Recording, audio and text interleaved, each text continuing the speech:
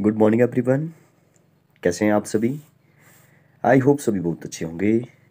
So today is thirtieth of September 2022 और day है Friday last day है इस मंथ का और आज हम लोग जो वो मनाते हैं विश्व समुद्री दिवस। आ, मैं जो वो ये क्यों बता रहा हूँ? क्योंकि पिछले कल जब वो वीडियो नहीं आई थी और पिछले कल जब वो हम लोगों ने एक बहुत ही इंपॉर्टेंट डे जो मनाया था जो कि था world heart day world heart day जो वो हमने बनाया था, विश्व हृदय दिवस।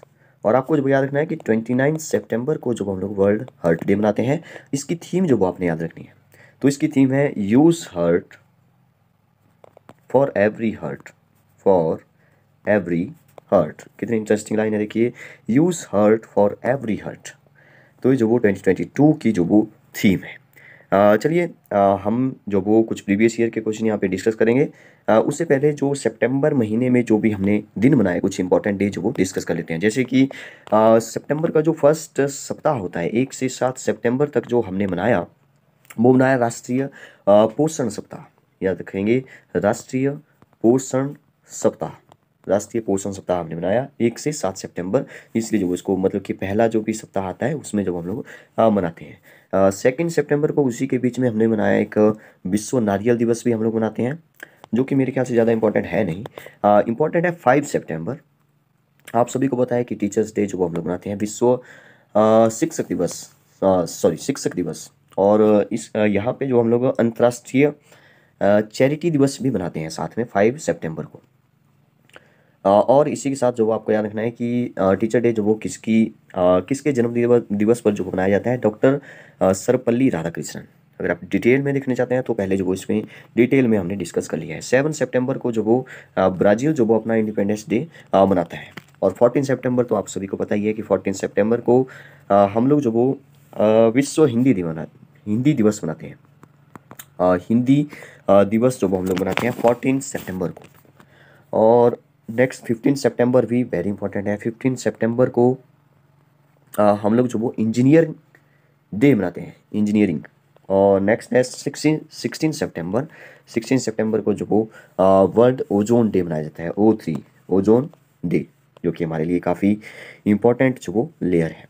और एक twenty nine sorry twenty seven September को जब हम लोग मनाते हैं पर्यटक दिवस विश्व पर्यटक दिवस। अभी जो वो एक रिपोर्ट के अनुसार जब वो पर्यटक में जो सबसे टॉप पर जो हमारा स्टेट है, वो है उत्तराखंड। डिटेल में जो उसको बाद में डिस्कस करेंगे। अभी आप जो वो ऐसे याद रख सकते हैं कि पर्यटन में जो कौन सा जो स्टेट सबसे टॉप पर है पर्यटन को बढ़ावा देने के लिए तो Uttarakhand.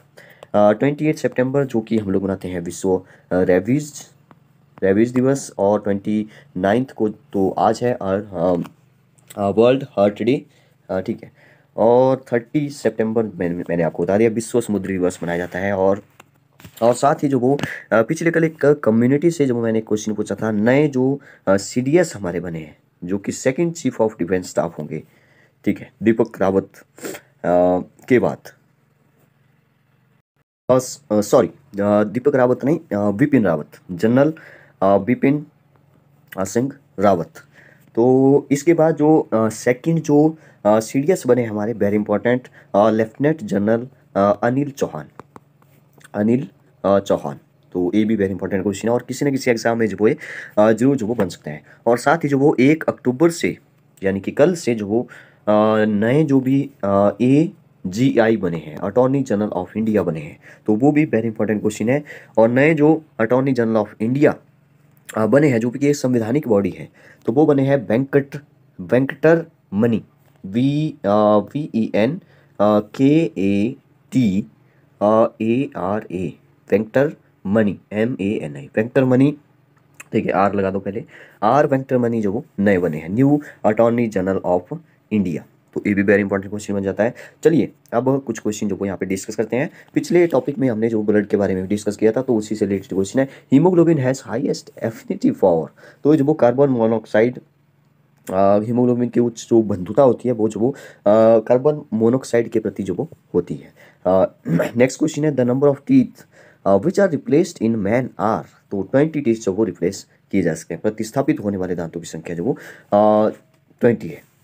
The functional unit of kidney is nephron तो nephron is the right answer अच्छा कुछ क्वेश्चन हमने जैसे ब्लड के बारे में डिस्कस किए थे तो कुछ क्वेश्चन जो वो जरा रिकैप करते हैं या कुछ क्वेश्चन जो वो नए जो वो डिस्कस करते हैं जैसे कि आपको पूछा जाता है कि ब्लड क्लॉटिंग में, ठीक है ब्लड क्लॉटिंग में कौन सी विटामिन जो वो उत्तरदायी होती है? मतलब कि कौन सी विटामिन जो ब्लड क्लॉटिंग के लिए ज़रूरी होती है? तो वेरी इंपॉर्टेंट क्वेश्चन है, पहले एग्ज़ाम में पूछा जा चुका है विटामिन के और विटामिन के का जो जो नाम है वो है P H Y L O Q U I N O N A ठीक है? कहाँ चला गया एक मिनट? मैं फिर से लिख लेता हूँ। P H Y L O Q U I N O N E आप स्पेलिंग जो वो चेक कर सकते हैं फिर से। uh, इसको बोलते हैं विटामिन के का जो वो नाम है रासायनिक uh, नाम जो हम बोलते हैं फिलो क्यूनॉन नेक्स्ट अगर आपसे पूछे, क्योंकि हर्ट डे भी हमने जो वो आज वो हम लोग हर्ट डे मना रहे हैं use heart for every heart तो सबसे पहला जो हर्ट ट्रांसप्लांट किया गया था ह्यूमन के अंदर, ठीक है, वो जो वो किसने किया था? तो वो किया था क्रिस्टियन बर्नार्ड ने।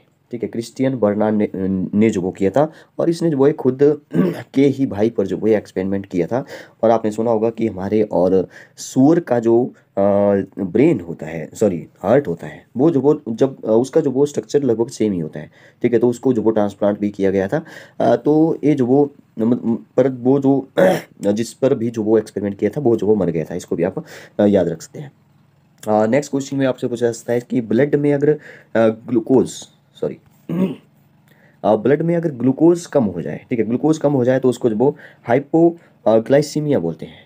ग्लाइकेमिया बोलते हैं, ठीक है? हाइपोग्लाइकेमिया जो उसको बोलते हैं। हाइपो का मतलब ज़्यादा हो जाए, ठीक है? हाइपो का मतलब ज़्यादा हो जाए तो यहाँ पे ग्लूकोज कम होने की बात हो रही है, ठीक है? ग्लूकोज कम होने की बात हो रही है। एक क्वेश्चन जो वो हमने डिस्कस और किया था कि व्हाइट ब्लड सेल में कौन सा जो वो व्हाइट ब्लड सेल के जो हमने टाइप देखे थे लिम्फोसाइट्स मोनोसाइट थ्रोम्बोसाइट तो इसमें जो सबसे बड़ा होता है वो मोनोसाइट होता है M O N O C Y T E S monocyte एक क्वेश्चन जो वो और आपसे पूछ सकता है कि जैसे हमारे अंदर जो सर्कुलेटरी सिस्टम होता है, वो जो वो अंदर होता है, ठीक है?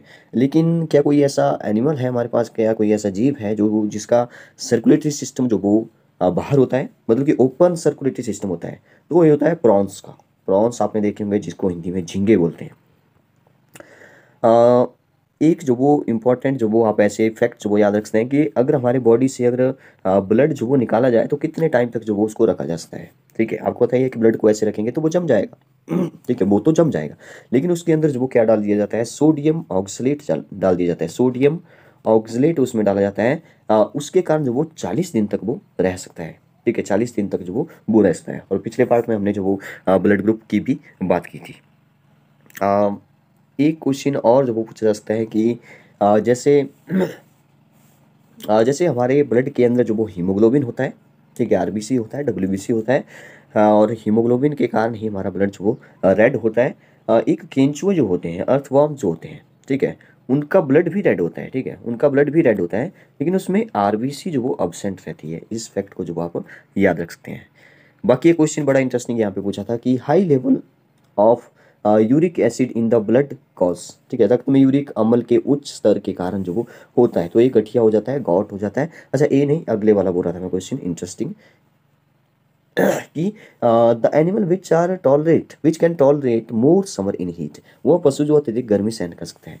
ठीक है, आपको बताइए कि जो, जिसकी मोटी चमड़ी होगी, वो जो वो ज़्यादा गर्मी सहन नहीं कर सकता, जैसे सुअर हो गया, भैंस होगी ठीक है, गाय की जो ज़्यादा मोटी चर्बी नहीं होती है गधे की थोड़ी सी मुझे लगता है कि मोटी चर्बी होती है उसकी और बकरी की ज़्यादा मोटी चर्बी नहीं होती, ठीक है तो बकरी जो इसका सही आंसर होना था, और ऑफिशियल आंसर की में भी बकरी ही है, ठीक है। नेक्स्ट क्वेश्चन था यहाँ पे even hot liquid is pour into a thick glass tumbler it cracks because glass ठीक है जब मोटे ग्लास के कांच के गिलास में uh, जो वो गर्म द्रव डाल दिया जाता है तो वो चटक जाता है। ठीक है आपने देखा होगा uh, कि कई बार जो वो क्या होता है कि वो जो वो uh, मतलब कि ब्लास्ट हो जाता है। ब्लास्ट तो नहीं बोल सकते लेकिन वो टूट जाता है। ठीक है जैसे हम गर्म गर्म दूध जो वो उसमें डालते हैं कई बार ऐसा होता है। तो इसका सही आंसर होगा क्यों होता है? क्योंकि उष्मा का जो वो कुचालक है इस बैड कनेक्टर ऑफ़ हीट ठीक है गुड कनेक्टर नहीं बैड कनेक्टर तो इसलिए सुचालक नहीं, कुचालक है। सो ओनली इनर सरफेस वो एक्सपेंड तो वो चटक जाता है, ठीक है। इसलिए केवल आंतरिक स्तर का जो वो विस्तार होता है, ठीक है। आंतरिक स्तर का जो वो यहाँ पे विस्तार होता है, क्योंकि इसमें जब हम जो वो मतलब कि हॉट लिक्विड जो उसमें जो भी डालते हैं, पानी हो गया, चाहे वो दूध हो गया, ठीक है।